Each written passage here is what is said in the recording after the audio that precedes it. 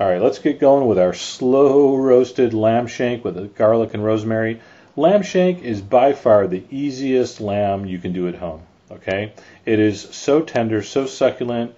Uh, you eat it all. Uh, there's not a lot of fat on there. I know it looks like there's a lot, but all that's going to melt off. Okay, lamb shank is not expensive compared to uh, leg of lamb, uh, lamb rack, lamb loin, super expensive. All right, so here we go. We got two lamb shanks. I'm going to cover it in olive oil, about a tablespoon I drizzled over. Salt and pepper. Okay, now again, you heard me before. When you salt these meats we're roasting, you got to be pretty generous because that salt's all you got going. It's got to flavor everything. All right, so salt and pepper. Now the first step here, the oven is on 450 degrees. All right, a very hot oven. I'm going to leave this foil open, and I'm just going to brown this lamb shank. Hey, see how they flipped over?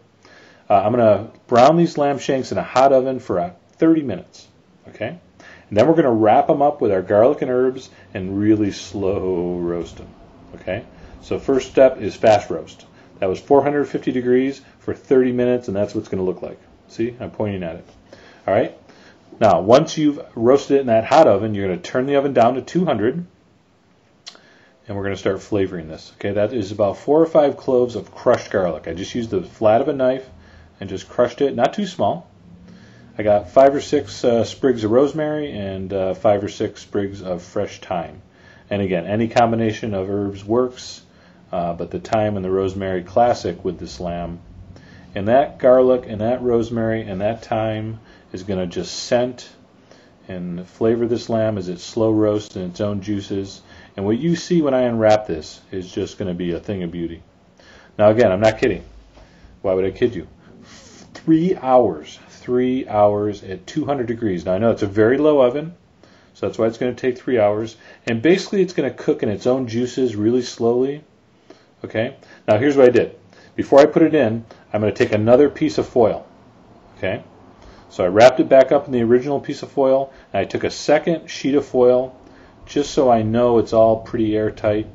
Again, I want it to be nice and airtight because I want it to basically uh, cook in its own goodness here. I don't want it, all that moisture escaping, it'll get too dry. And that, three hours later, totally worth the wait, is what you're going to have. Now be careful. It gets really sticky and gummy because it's so rich and succulent. So don't just yank it off the foil. You'll lose the meat because it's so tender. So just pull it up gently. Okay, we're going to take off that roasted garlic and that little branches of thyme and rosemary. That is unbelievably beautiful. It looks like it's lacquered. Okay. I'm going to serve this on a white bean ragu that's also on the site. And as far as lamb goes, that is about as good as it gets. That meat, you can take a fork, it's just going to fall right off the bone. It's a sweet, sticky, aromatic, flavorful. Um, if you don't like lamb, try this. Okay. If you like lamb, definitely try this. And if you're not sure, try it. You're going to love this. All right. So anyway, give that a try and uh, enjoy.